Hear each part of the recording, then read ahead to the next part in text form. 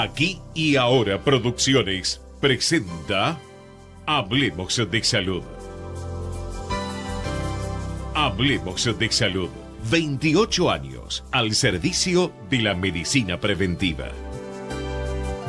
Hablemos de Salud. Conducción y producción a cargo de la periodista médica Ana María Forte. Columnista, doctor Mariano Favaloro. Locución, Oscar Di Profio. Hablemos de salud por Ecomedios AM 1220.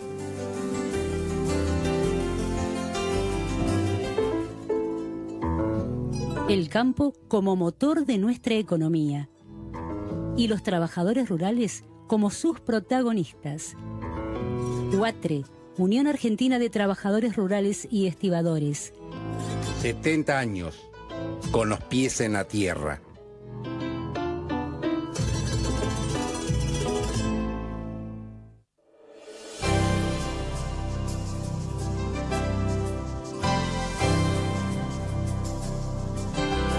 Hola, hola, ¿qué tal? ¿Cómo están ustedes? Soy Ana María y bueno, los invito a esta nueva emisión de Hablemos de Salud. Eh, como siempre, profesionales de lujos, muy buenos temas, gente buena, gente linda. Como siempre estamos con el doctor Mariano Favaloro, cirujano cardiovascular y nuestro columnista de lujo, para hablar acerca de la importancia del cuidado de la salud arterial. También con la doctora Ángela Gómez, médica obstetra y amiga de años va a hablar acerca de controles prenatales, ¿no es cierto? La importancia que tiene, ¿no? Porque tenemos cinco, seis hijos, tres hijos, cuatro, todos los embarazos son diferentes. Eh, también nos encontramos con la eh, doctora Solange Arasi Caló, que es infectóloga pediatra, perteneciente al Hospital de Pediatría Juan Pegarraja, hospital que recuerdo con mucho cariño porque transmití 10 años desde el mismo y siempre lo digo, siempre lo digo. Excelentes profesionales y seres humanos. Va a hablar de un tema muy importante, muy importante, que porque no se habla uno cree que desapareció y todo por el contrario. Eh, va a hablar del HIV en niños y adolescentes, ¿no es cierto? Y a mí siempre eh, es una cosa que me quedó, ¿qué diferencia hay entre el HIV y el SIDA? Porque al principio se decía es un sidótico, una cosa fea. Bueno, nos va a aclarar todas esas dudas y muchas más. Doctor Mariano Favaloro, muy buenos días. Buenos días, Ana María. ¿Cómo está? Muy bien, ¿y vos? Bueno, muy bien, muy bien, Mariano. Y para hablar de este tema que parece que cada día hay más, ¿qué pasa? Sí, mira, no solo hay cada vez hay más, es parte de la falta de, de concientización de cuidar la salud que existe en el mundo tanto individualmente como eh, a nivel social y gubernamental, estatal, llámalo como vos quieras. La Organización Mundial de la Salud viene alertando sobre todo las enfermedades no transmisibles, crónicas no transmisibles, de las cuales este, la hipertensión es una de ellas, junto con la diabetes y la dislipemia. Padre de todo esto en general es la obesidad. Entonces, secundariamente aparecen estas enfermedades crónicas y que, este, salvo la obesidad y, este, la dislipemia un poquito más, este, la hipertensión es crónica y la diabetes, una vez que aparece, es crónica. Para aclararle a la gente, no se cura, pero se trata y se mantiene a raya para que la gente entienda y eso prolonga la mejoría de la vida y la vida. Hay una explosión ahora también en, la cardiología, porque en Estados Unidos hace 15 días en el Congreso, eh, no, el Congreso no, el Congreso Mundial no, de la American Heart, eh, salió un trabajo, que el acrónimo es SPRINT, que estudiaron este, la presión arterial en grandes poblaciones. Y la conclusión que llegaron es que ellos tenían una un tope máximo para decir que el paciente ya estaba en, este, en prehipertensión, que ahora sacaron ese término, lo eliminaron, sino que le ponen tipo 1 o tipo 2 o tipo 3, de acuerdo al nivel de hipertensión que tenga. Eh, dijeron, lo bajaron de 130 a 120. Y hacen estadísticas que es difícil de creer si bien son de grandes poblaciones. Porque, por ejemplo, publican que de 100, los que tienen 130 tienen una mortalidad, ¿no es cierto? Se van a enfermar más y se van a morir más. Ahora, los que, si, los que siguieron con 120 tuvieron la, la mitad de la mortalidad de los otros y la mitad de las enfermedades que tenían los otros. Enfermedades es infarto, este, ACV y muerte. Entonces, este, es difícil de creer que por 10 milímetros de mercurio de la presión arterial se mueran el doble.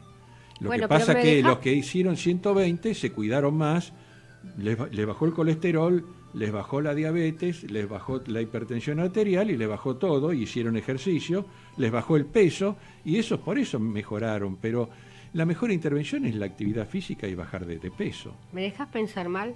Sí. Si antes a partir de los 14, si ahora a partir de los 14 te medican, ahora van a empezar a medicar a partir de los 12. Bueno, te adelantaste a lo que yo iba a decir. Como siempre, soy una adelantada. Que lo dicen acá. si entras a la página, si hoy entras a la página de la Sociedad de Cardiología, lo voy a hacer. te lo explica y te dice: si acá hiciéramos lo, mismo, todos. Y en Estados Unidos lo, lo que van a hacer, se vende el doble de medicación. Totalmente. Entonces hay un trasfondo económico también, ¿no? A pesar de la cara esa de asombro que tienen este, los colegas acá, pero claro, hay un trasfondo económico. Hay un trasfondo muy grande en todo. Pero no van a lo principal. Pero la corrupción ha llegado a todos los estamentos de la sociedad y no podía quedar libre este. Sí, sí.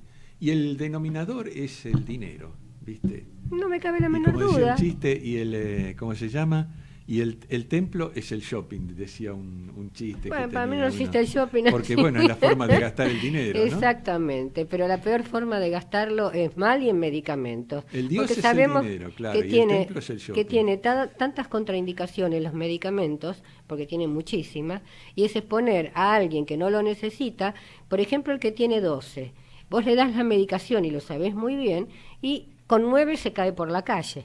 Claro. ¿No? Ahora, acá tenemos una pediatra. También sabemos que eh, hoy día muchos chicos tienen también hipertensión, hipertensión arterial severa, pero en general es, el problema es secundario a un eh, hábito familiar de ser obesos, de comer comida este, no, nutritiva, no sana, con altos contenidos de grasa, azúcar y sal. Comida adictiva, comida este, generalmente industrializada. Y bueno, el problema es ese, es cuidarse, es que en la casa cambien la conducta, que yo te lo he mencionado ya aquí en este programa, este es un estudio que está haciendo este, un cardiólogo de, Estados Unidos, de Nueva York, que este, se fue a un pueblito de Colombia, agarró todo el pueblo y dijo el, 100% de la población le vamos a hacer cambiar todos los hábitos alimentarios y de conducta de vida, y está haciendo una prueba piloto de acá a 10, 20 años, 30 años, como lo fue una ciudad de Framingham allá en Estados Unidos, este, que hizo también un estudio sobre este, los problemas cardiovasculares y la evolución con el tiempo, y va a demostrar que el que adquiere hábitos alimentarios sanos este, y de vida desde chico, que entre los 3 y los 5 años se adquieren los hábitos definitivos, tanto de cuidado como de alimentación, este, van a cambiar su, su rumbo de, vida, este, su, su salud para el futuro. Descreo, perdón, en los eh, se ha hecho un estudio de 22 personas. Esto es diferente a lo que está planteando vos, ¿no es cierto? Pero hasta descreo que para aprobar una medicación, ser aprobada, eh, ¿vos me contaste alguna vez que el Lotrial fue aprobado sin sin el debido porcentaje de pacientes u otro profesional me lo contó. No, yo no. Otro profesional que estuvo acá. Entonces, hasta descreo en eso, porque con tal de vender se hace cualquier cosa. Yo te cuento una, pequeña anécdota. Eh, un familiar mío este, tiene una nenita de cinco años, entonces le llevaba este, todos los mediodías para que coma en la escuela la comida que se comía en la casa. Bien, nació su hermanito, se despelotó, digamos, no es la palabra ideal, eh, el hogar, entonces como un mes no se le mandó y había un pequeño restaurante en la escuela donde al chiquito le daban lo que decían los padres. Entonces ella veía que todos comían milanesa con papa frita, fue y se cambió el menú, cinco años, ¿no? Dijo, yo voy a comer milanesa con papa frita. Cuando yo le pregunté qué comía, milanesa con papa frita, mucho ketchup y, y mayonesa, mayonesa, que jamás se comía en su casa, eso diariamente. Bueno, aumentó en un mes dos kilos. Qué linda que estaba la nena. Por fin come. Claro, porque la, familia dice que, que, es delgadita y la veía tan... Pero si seguía, sabes cómo terminaba. O sea, e, e, es, tremendo lo que puede milanesa, hamburguesa y papa frita. Ana María, control médico. O sea, a los, a los niños y a los adultos, sobre todo después de los 50 años, porque la incidencia y la prevalencia de la hipertensión después de los 50 años es altísima. Mm. Tenemos entre el 40 y 44% de la población argentina que es hipertensa. El problema que el 40 al 50% de esa población no lo sabe y no se trata. Es lo peor porque es el enemigo silencioso, como dice Mariano Favaloro. Exactamente. Y del otro 60% que sabe que es hipertenso, solo entre el 25 al 30% tiene controlada la presión arterial. Aparte, así hincapié, por favor, Mariano, y sabes lo que yo te voy a pedir, que hay eh, precisamente enfermedades que producen la presión y la presión es un síntoma y no una enfermedad. Lógico es un síntoma, no es una enfermedad, pero como síntoma este, que coincide con un, todo un cuadro semiótico de, de, condiciones fisiopatológico, es muy importante. Yo te lo voy a hacer más simple. Sí. Es más simple para, para la gente. Vamos a bajar a Doña Teresa, que veníamos bárbaros. Em, la fiebre mediterránea familiar. Eh, mueren familias eh, enteras sin saber y con picos hipertensivos, le dan todas las medicaciones, lo toma y lo cumple, igual se mueren, porque ¿qué es lo que produce en el organismo la fiebre mediterránea familiar para que aumente la presión, Mariano? Produce muchísimas cosas, produce una inflamación generalizada. Inflamación generalizada. Inflamación generalizada. Bien. Es una enfermedad que justamente tiene eso, es, un, es, un, es una enfermedad de autoinflamación. Bien, Este, que tiene, es una falla genética, está asociada a varias fallas genéticas. Este, el otro día estaba leyendo artículos donde hay más variedad en el mundo de las fallas genéticas que producen fiebre mediterránea es en Turquía. Han estudiado no sé cuántas variaciones que producen este, fiebre mediterránea. Turcos e iraníes. Y cuando los turcos se van a Europa, difunden toda esa falla genética y en Europa cada vez hay más fiebre mediterránea. Hay mucho como bien dice Mediterránea, España, Italia, y nosotros somos el crisol de razas y precisamente todos, la mayoría, tenemos apellidos que vienen de Italia o de España. Y esa falla genética es la que produce la falta de producción de una proteína. Que la pirina. Que, es la, pirina, se nombró así porque la pirina viene de, fiebre, porque producía fiebre. Claro. Pero en realidad lo que producía un proceso inflamatorio porque este, no maneja bien las este, interleuquinas, o, sea, un, em, un intermediario que produce inflamación. Aparte es una enfermedad muy difícil de detectar, un poco frecuente, que generalmente se llama fiebre, pero hay pacientes que no tienen fiebre.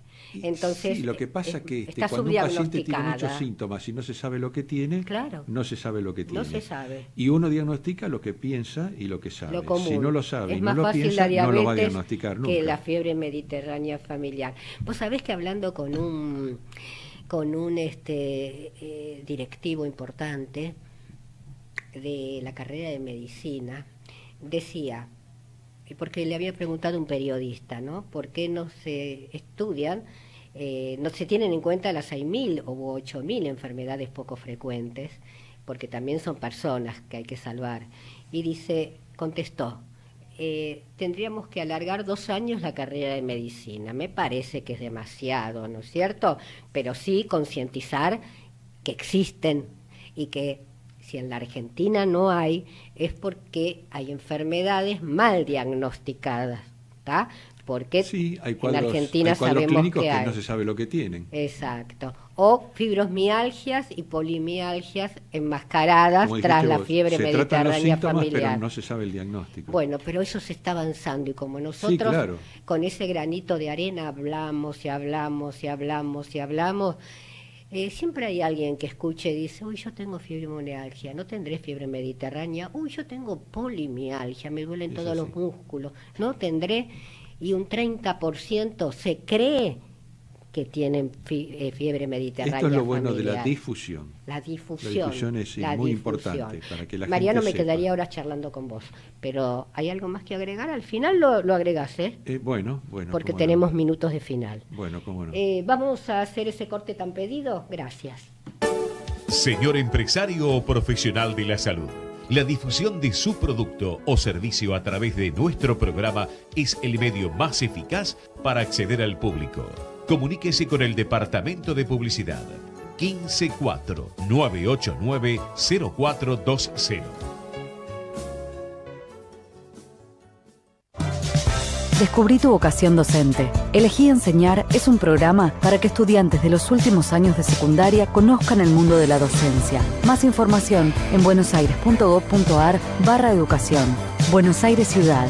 Vamos, Buenos Aires.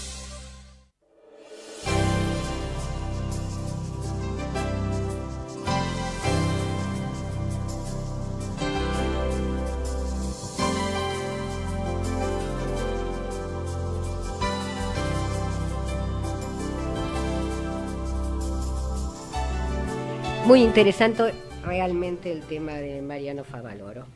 Bien, ese enemigo tan silencioso, ¿no? Porque cuando de pronto duele la nuca uno dice tengo presión o no, pero peor es no tener ningún síntoma. Eh, ya estamos con la doctora Solange Aranzi Caló y bueno, el tema bastante importante y quizá eh, Solange no tenido en cuenta, ¿no es cierto? Lo que no se habla ya, se superó.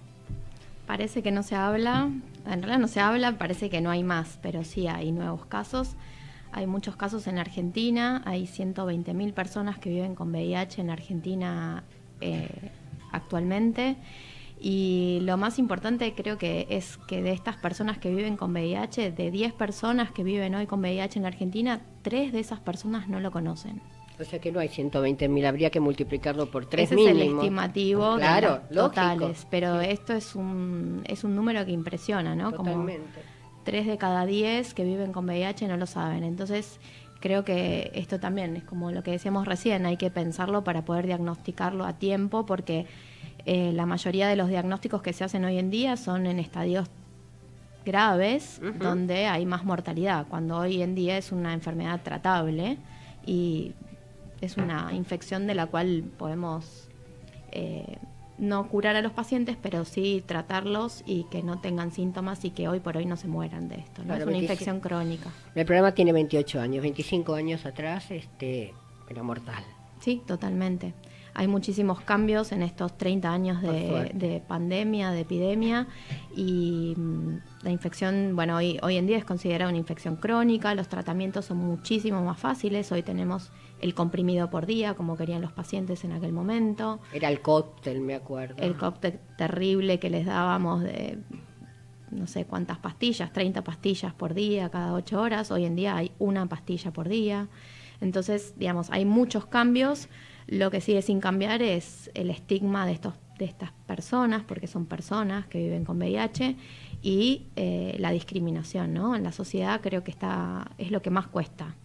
Eh, la parte médica avanzó un montón, pero sigue costando el estigma social, que es ¿Cómo lo que me parece evitar? que hay que ¿Cómo se puede evitar evitar el La- estigma o evitar la No. transmisión. la transmisión? el estigma está dentro de cada uno de nosotros. es muy de difícil. Creo que el estigma, lo más importante es informarse, por eso también Sí. es importante también la difusión y hablar de esto sin prejuicios y poder hablarlo libremente en las casas, con los adolescentes, con los chicos. Eh, creo que hoy eh, está dentro de la currícula de, las, de los colegios y me parece muy importante y que se hable, digamos, eh, con respeto, ¿no? Que muchas veces es lo que falta en los medios o en lo que se hace más visible quizás en la tele. Se sigue hablando de... Y Solange, ¿vos por qué crees que no se habla más? Hubo una... No vamos a pasar todo por la política, ¿no es cierto? Pero en los últimos 10, 12 años, dejemos de lado que estuvo Juan o Pedro. Ha- había bajado algo, con decir, no hablamos del HIV. Eh, y yo no entiendo por qué se cortó. Se cortó la publicidad que se hacía, que con simplemente un profiláctico se puede evitar, etcétera. La, la, realidad es que mm, bajó la, la, difusión, pero no bajaron los nuevos casos. No bajaron. Es un país donde se mantiene eh, la tasa de infección. Eh, tenemos en la Argentina 6.500 nuevos casos por año de diagnóstico, que es un montón.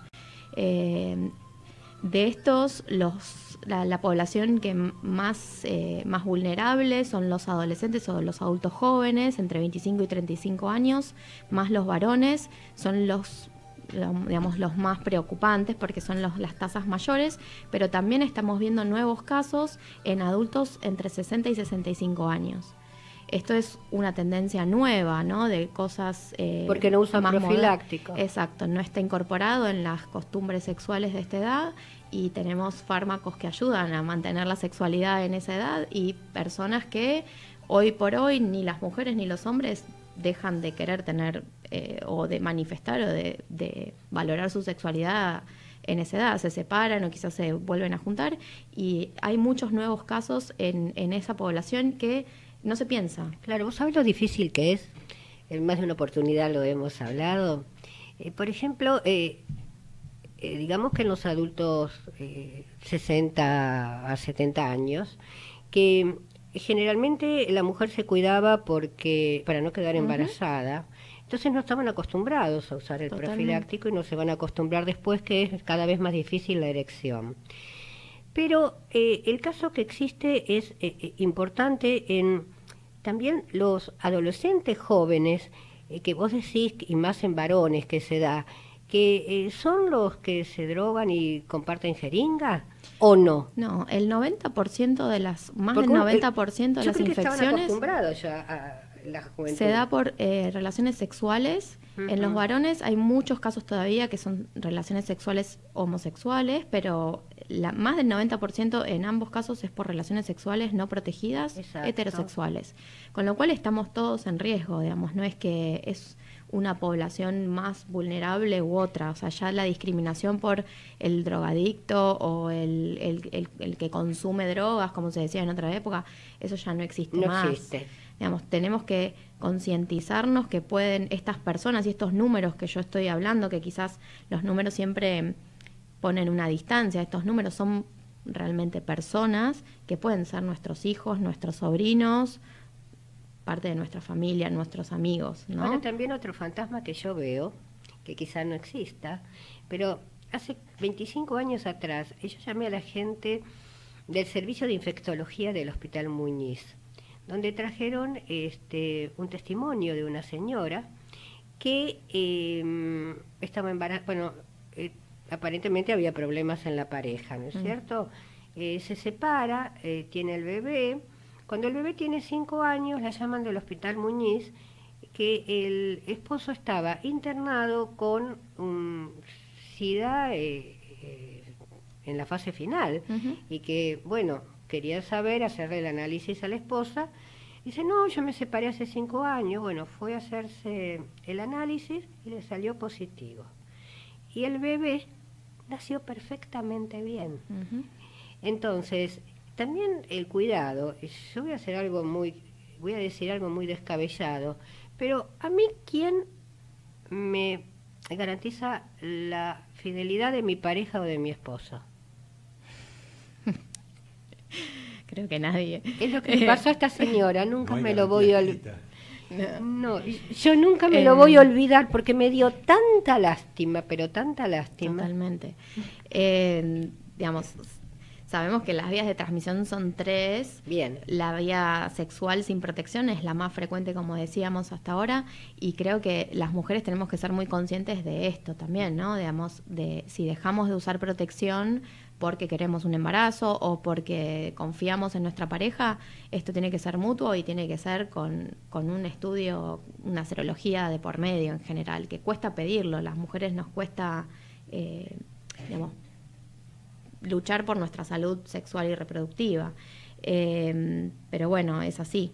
Y eh, en estos casos, bueno, es la confianza y es el amor responsable, a ver, es, es otra de las cosas, pero bueno, eh, el preservativo sigue siendo el, el, método de barrera y el método de cuidado. ¿Y qué pasa con el sexo oral eh, hombre-mujer?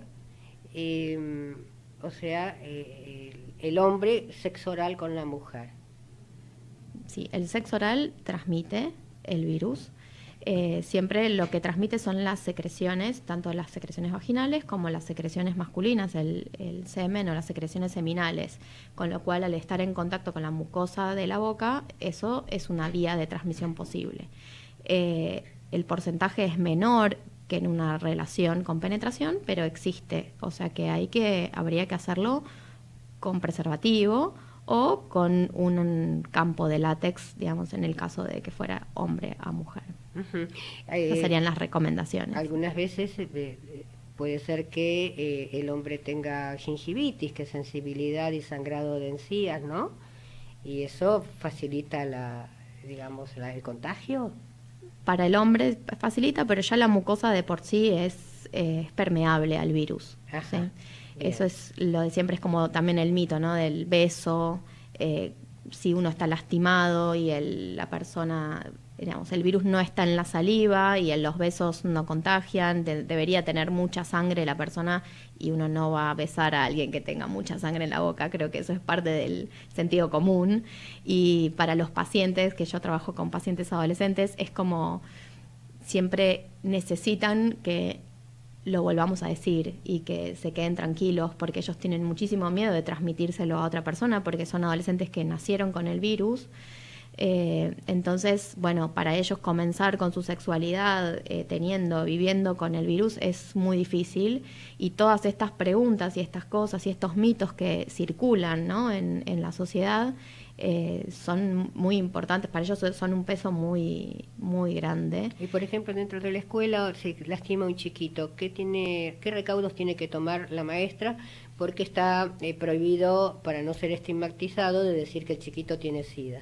Eh, digamos, los cuidados universales son eso, universales, y todas las maestras deberían usar guantes para atender a cualquier niño que se lastima, porque no sabemos si tiene VIH o si tiene hepatitis o si tiene Porque alguna que mata otra más una hepatitis C que Exactamente, una hepatitis B es 20 Sí, veces perdón. más Sí. eh, transmisible que el VIH. Sí.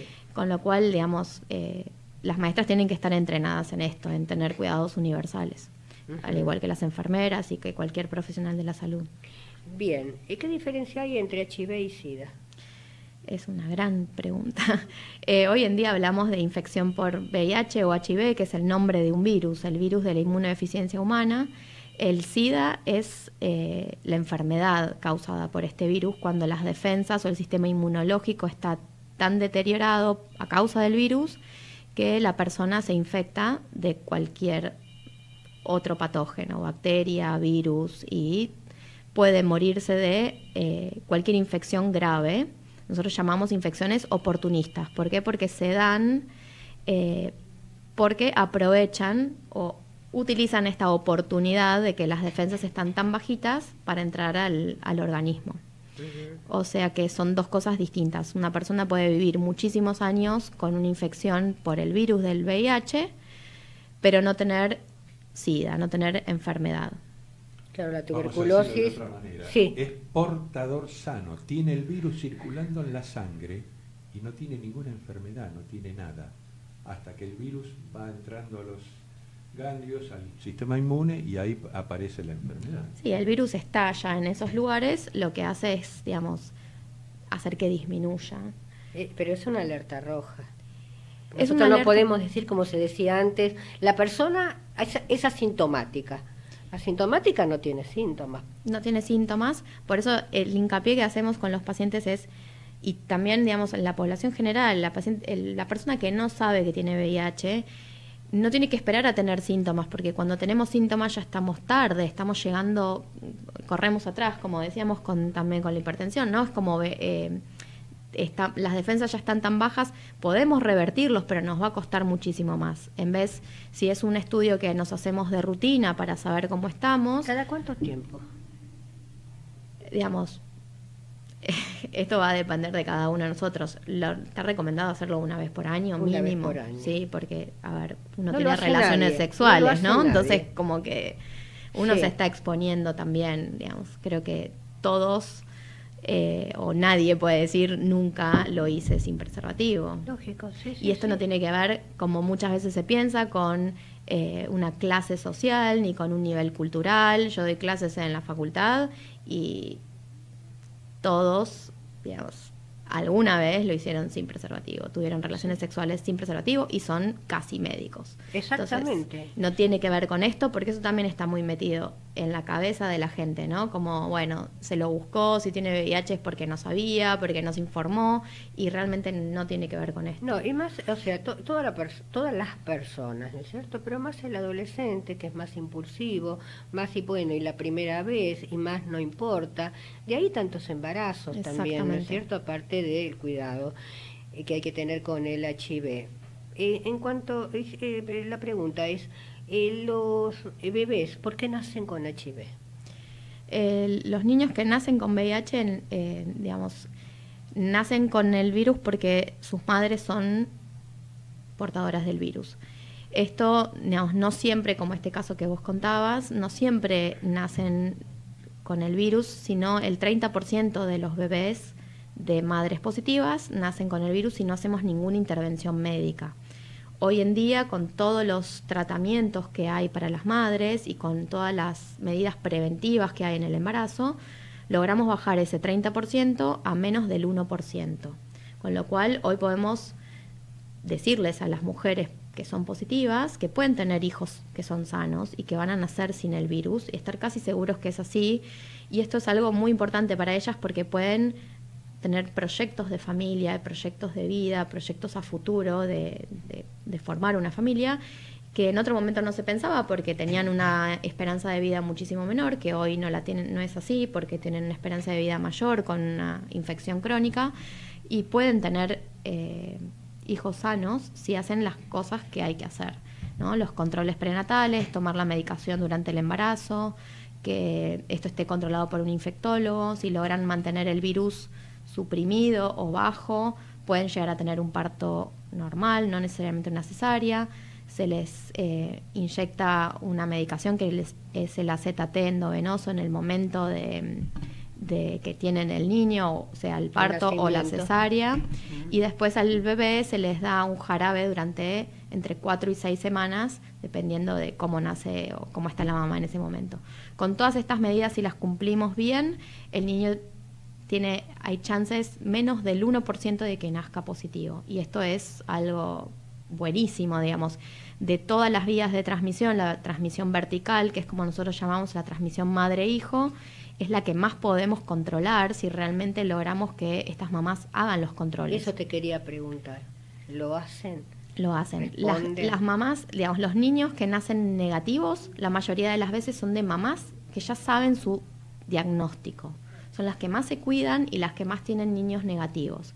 El problema es las que se enteran durante el embarazo o durante el parto. Entonces, ¿O no se enteran? o no se enteran. Entonces, de ahí la importancia de los controles prenatales y de, digamos, del obstetra, bueno, acá tenemos a la profesional Sí. justamente, de, digamos, todavía no, no es obligatorio, no, uno no puede obligar a la madre a hacerse el estudio del VIH, pero sí recomendarlo fuertemente porque... eh, a través de un estudio de sangre podemos prevenir una infección tan grave como es la infección VIH. No depende de vos, ¿no es cierto? La pregunta.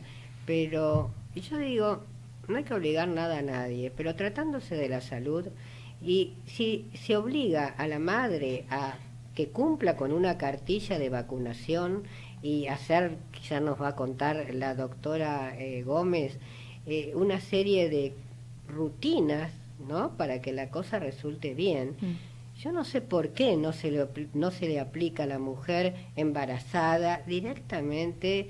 Antes se llamaba el test ELISA, ahora no Sí, sé. es el mismo. Sí, es el mismo de mayor sensibilidad, ¿no? Bueno, Nueva generación. tendría que ser una obligación, una obligación. De todas maneras, digamos, no es una obligación porque existe una ley que, que, que responde a otra época. De todas maneras, está por cambiar, pero bueno, todavía sí. está vigente, que es para era para proteger a las personas con. VIH.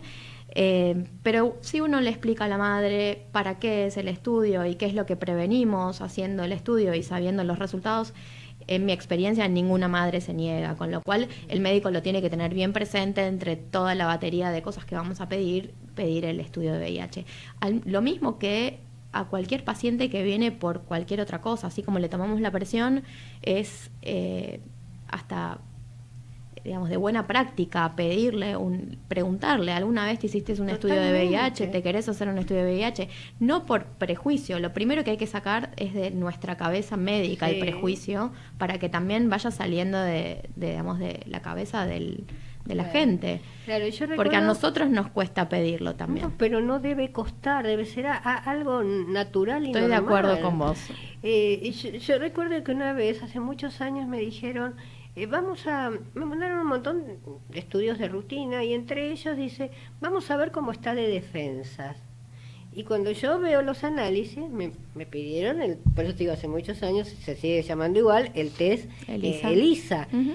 Pero solapadamente fue. No tiene que ser solapadamente porque nadie se debe negar, incluso cada día hay menos casamientos, pero incluso para el casamiento y más cuando se casa por, por, por escuela, por escuela, perdón, por iglesia, ¿no? El catolicismo, y tendría que decir, bueno, obligación para salvar a- al- hijo que van a hacer, eh, un, un test, un test para ver, eh, eh, no para estigmatizar, para ayudar.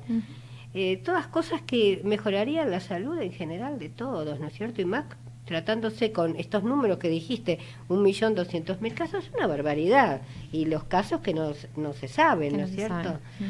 Bien, ¿qué tenemos para agregar, Solange?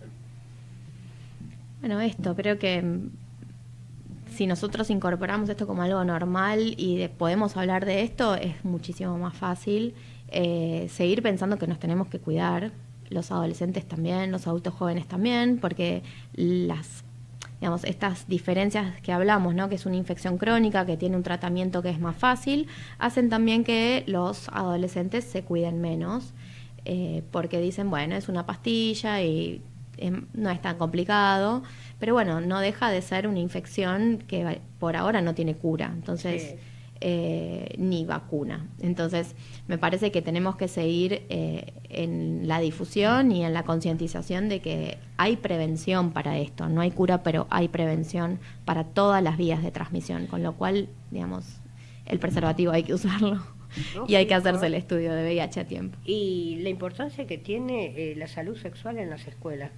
Yo en la época de Ma- Matusalén, cuando hice el, el secundario, perdón, nosotros quinto año, aunque resulte increíble, teníamos educación sexual dada por un cura en una escuela religiosa de Flores. Pero cuando yo lo cuento hoy, no es creíble. Y algunas alumnas lo tomaban así a la risa y le hacían preguntas fuera de lugar y siempre el cura contestaba. Yo pienso que si en esa época existía, en esta época que hay tantas cosas, porque en esa época no existía el SIDA, ¿por qué no hay educación sexual en todas las escuelas? Hay, existe. Existe. Sí. ¿A partir de qué, de qué eh, grado existe la educación sexual? ¿Tenés idea? No tenés por qué Sí, saberlo, sí, ¿no? en los no- últimos años de la primaria y los primeros Último. de secundaria. Perfecto, bueno, genial. Eh, Se llama educación integra- eh, sexual integral. Genial, genial. Bueno, eh, me quedaría ahora charlando, eh, aprendí muchísimo y sos muy didácticas, muchísimas gracias. Gracias. Vamos a hacer un corte y luego continuamos.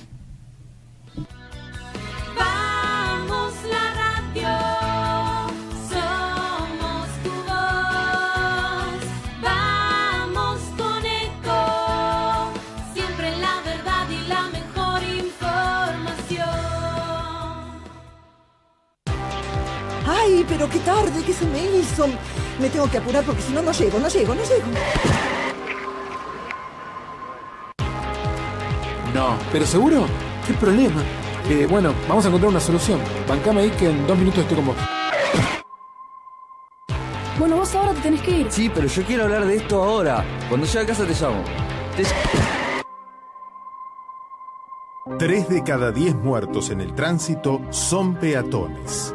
Cruzá siempre por la senda peatonal o esquina, respetando los semáforos. Allí, todos los vehículos deben darte prioridad. Luchemos por la vida. Descarga gratis de tu celular la aplicación Ecomedios. Podés escucharnos en vivo, informarte con las últimas noticias y entrevistas en audio y video. Búscala y bajate la aplicación Ecomedios. Podés vernos en vivo en ecomedios.com. Ecomedios.com. Contenidos audiovisuales. Conectate con nosotros. Línea directa 4 325 1220. Si usted tiene alguna inquietud sobre su salud o la de su familia, Hablemos de Salud les responde vía mail. Tomen nota. Hablemos de salud hotmail.com o a través de nuestra página www.hablemosdesalud.com.ar. Este verano, vení a Mar del Plata a disfrutar de un montón de propuestas gratuitas. Playas llenas de comodidades, entretenimiento, espectáculos y beneficios para toda la familia. Vení a Mar del Plata, que te hace feliz. Buenos Aires provincia, entre todos podemos más. El campo como motor de nuestra economía y los trabajadores rurales como sus protagonistas. UATRE, Unión Argentina de Trabajadores Rurales y Estibadores. 70 años, con los pies en la tierra. Profesora Karina Uranga, cosmiatra, tratamientos faciales y corporales personalizados. Para contactarse 011 69 68 11 12 o vía mail carinauranga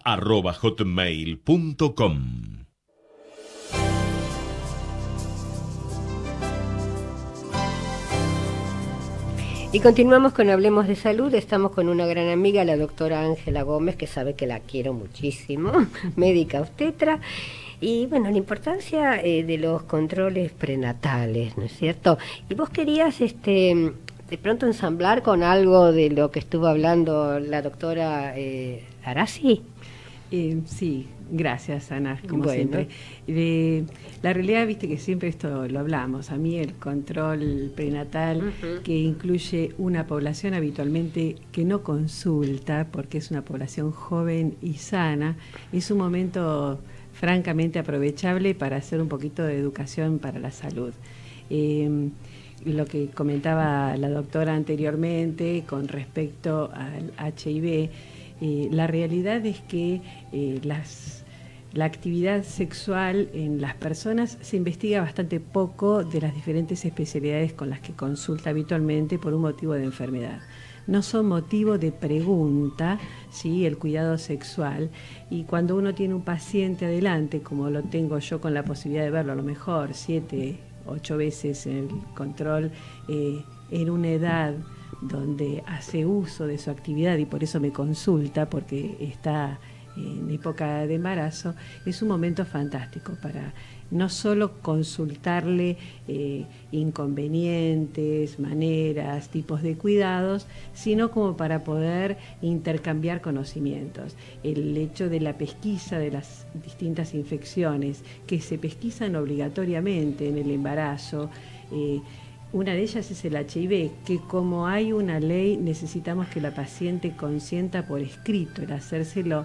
La verdad es que nunca se niegan, pero no hablamos nada más que de eso. Hablamos de sífilis, que hay un número enorme de pacientes y la sífilis en el recién nacido impacta de manera tal que trae malformaciones congénitas. ¿sí? La hepatitis B, la hepatitis C, que también son enfermedades crónicas que llevan a la mala calidad de vida a largo plazo si las adquieren, porque tampoco tenemos un tratamiento específico que resulte en beneficio de la salud y que se contaminan de la misma manera.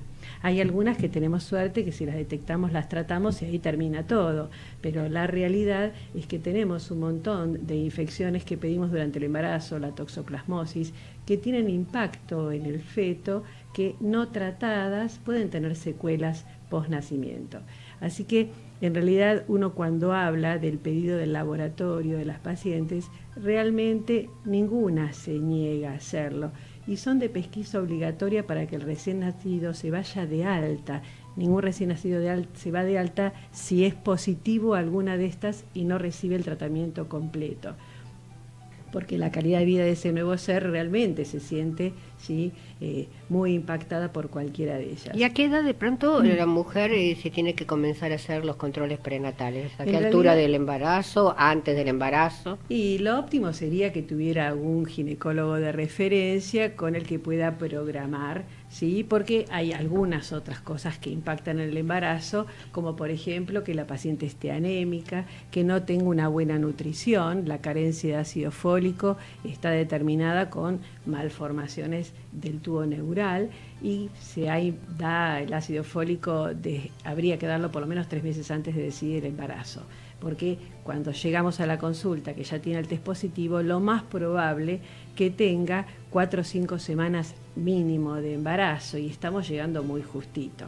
La realidad es que tendríamos que programar O que la mujeres que paciente- no lo programó también, hay personas que no lo programan y que creen que eh, le falló la menstruación y están embarazadas, ¿no? Seguro, seguro. El embarazo, así como algunas infecciones, a veces se puede organizar, la mayoría de ellas, y otras no. Eh, el resultado de las relaciones humanas tampoco es tan lineal, ¿no? Uno tiene un, evento apasionado y se olvidó el profiláctico, y mucho más si tienen 14, 15, 17 años, no, no es tan fácil. No sé si es tan cuestionable. Lo que sí es cuestionable es que la información no sea dirigida y adecuada para la población donde se espera que resulte el impacto. Hace muchos años que se dan gratuitamente profilácticos en todas las instituciones y no van a recogerlas tan fácilmente los chicos. Y Todavía se sigue, eh, eh, Ángela, eh, en los... Obvio que no vamos a boliches, yo no tengo chicos adolescentes. Antes habían, dicen en los boliches, eh, eh, expendedores de profilácticos en forma gratuita. ¿Sigue eso, Mariano Favaloro? Sí, ¿Usted yo sabe no algo? voy a boliches, Eh, pero Por supuestamente eso sí. yo, claro. No era gratis, este, Ah, no con era gratis. Era con moneda, estaba en el Ajá. baño de hombres siempre. Este, pero ahora, la verdad, vas a cualquier institución pública Sí. y en el mostrador hay una cajita ahí contra la pared que está llena de profilácticos. y No la le gente preste va y agarra. atención, sí. Y yo lo veo siempre que, este, que gente va y agarra. ¿eh? Y agarra. Sí, sí, sí. Perfecto, perfecto. No sé, no sé cómo lo usan, pero lo, agarrarlo lo agarran. El tema La Dirección de SIDA tiene muchos dispensers de distribución gratuita de preservativos y hay como una legislación que en los boliches, como decís, o en los bares, si no tienen un expendedor, eh, digamos que no sea gratuito, Pago, tienen claro. pago, tienen que tener eh, muestras gratuitas en la caja que la gente los puede ir a pedir. O sea, general tienen un cartelito que solicite en el mostrador o lo que fuera. Lo que pasa es que no alcanza nada más con que haya, sino que la información tenga que ser incorporada. ¿Sí? Incluso O sea, los adolescentes, que lo hablamos más de una vez, Ángela, y recordalo. Uno dice, el adolescente tiene que eh, usar profiláctico, pero ni siquiera se lo sabe poner el- el- eh, algunos adolescentes, ¿no? Sí, yo creo que la adolescencia per se es una etapa que todos hemos transitado y no siempre es eh, yo te enseño cómo usarlo, lo usás realmente, es todo un aprendizaje de esto inclusive. Y la manera de influenciar en ellos debería tener una, una manera de comunicación particular para ellos, ¿sí? Porque yo diga a todo el mundo que hay profilácticos para usar, si yo no me siento y charlo y ellos entienden por qué es importante, no lo usan, ¿sí? Eh, porque es una etapa muy particular. No la usan los adultos, convengamos, porque un alguien que está empezando a formar su personalidad, a decidir qué quiere ser en la vida, cómo quiere ser, está tratando de ser una persona todavía no sabe para qué rumbo, es mucho más difícil todavía que pidamos que tome decisiones acertadas. La realidad es que cuando entre ellos todos charlan y se concientizan, incorporan mejor y adoptan, ya sea lo que tenga que ver con cuidados personales, vemos, tienen totalmente incorporado su, actividad en grupo. Entonces, si todos hacen deporte, todos hacen deporte. Si todos van al boliche, todos se pintan el pelo de un color, utilizan un tatuaje, lo más probable que... Por eso la manera de relacionarse con los adolescentes es entre adolescentes y ahí uno donde tendría que intentar que la información llegue de la manera más adecuada. Porque... eh, eh, el tipo de relaciones como lo quieren tener, todo eso debe ser charlado. No alcanza con que haya una ley para que en las escuelas se hable de, de salud sexual si no se entiende en qué idioma se les tiene que hablar, cómo sentarlos y que participen activamente de la información. Porque Gómez, si no- yo hace unos días, 10 días exactamente, estoy asombrada de lo que me contó una amiga. No es la amiga de una amiga, de la tía, de la abuela y que después no resulta. Me muestra una foto y me dice, mira qué hermosa beba. Miro la beba, una beba hermosa de 8 meses. Me dice, ¿querés que te cuente la edad que tiene el papá? ¿Cuántos años tiene? Yo digo, ay, capaz que es un hombre mayor. 13 años. Y la mamá 16. Y desde que los ciclos menstruales empiezan, las mujeres ovulan. Entonces, si a los 9, 10 años empiezan con su menarca, pueden embarazarse eh, en algún momento ovulatorio. Eh, no es lo ideal, seguramente, porque todavía debería desarrollar no solo su cuerpo, sino su, su carácter ¿sí? y su educación en el mejor de los casos. La realidad es que eso es así. Eh, volviendo a los controles prenatales, dentro de todo esto que es el pedido de, una rutina que yo siempre trato de que entiendan para qué se la pido, eh, porque los resultados a mí me sirven unos meses, a ella le sirven en ese periodo. La anemia es algo bastante frecuente, es algo que no voy a poder curar durante el embarazo, que tiene repercusión en el recién nacido según el estado y que a la madre le da repercusión y que muy probablemente recién pueda solucionar varios meses ¿sí? después que termina con la lactancia y que me va a llevar eh, compensar sus reservas de hierro años después que haya tenido ese bebé. Eso es algo también para charlar con la madre, porque parece que vienen durante los nueve meses del embarazo, tienen su bebé y ya no necesitan ninguna consulta más y la volvemos a tener embarazada con más anemia. Esto es algo de salud eh, comunitaria que tampoco se trata en los consultorios normales. Las mujeres van por una gripe y la hacemos en el contexto, la tratamos nada más que los síntomas. Eh, otras cosas como antecedentes familiares, ¿sí? que también deberíamos tener en cuenta. Insisto, existen distintos cánceres muy frecuentes, el cuidado que le pedimos con respecto a las detecciones eh, tempranas de cánceres, como por ejemplo el estudio de Papa Nicolau para detectar el cáncer del cuello, que permite mechar en cuanto a la salud sexual, para qué sirve, para qué no sirve, y que se lo tiene que hacer toda la vida, no solamente. Muchas piensan que nada más que es un control del embarazo. O sea que hay muchas cosas que dentro del control prenatal podemos trabajar. Otras es la nutrición. Con los avances de la tecnología, con los avances de la genética, la nutrigenética ha tomado un impulso y una realidad que nosotros como obstetras no podemos desentender.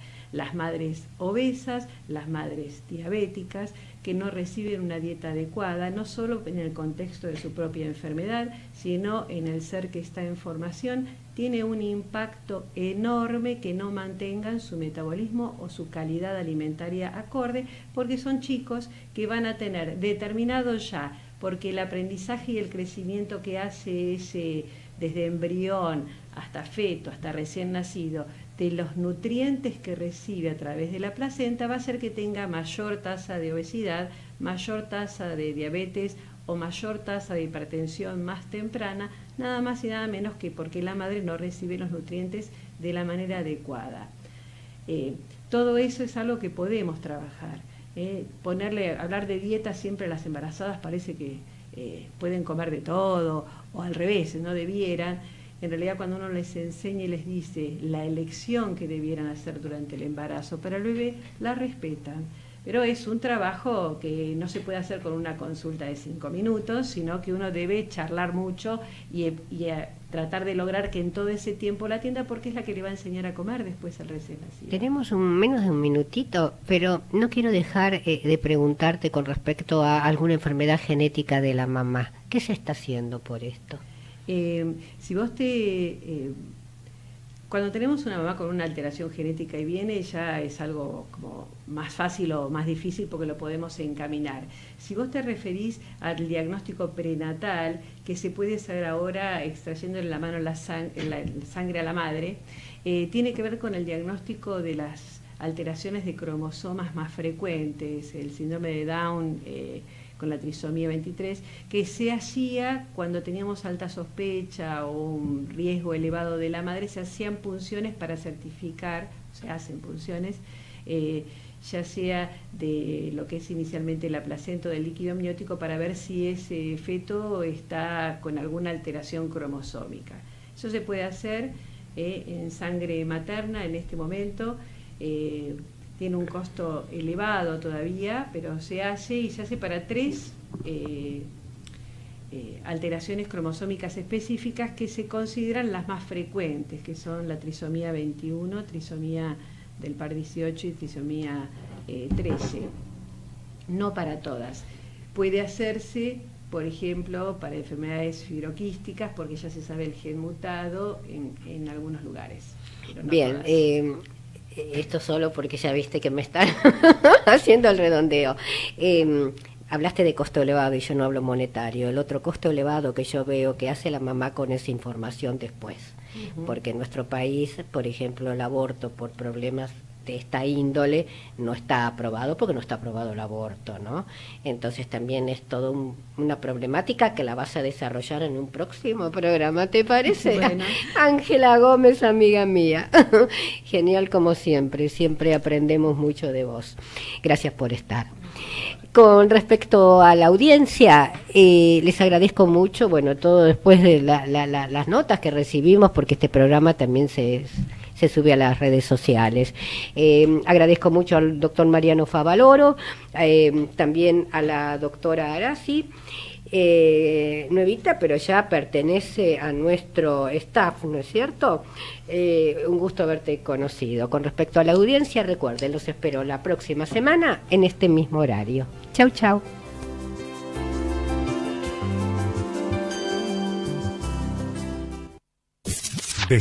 Aires, trans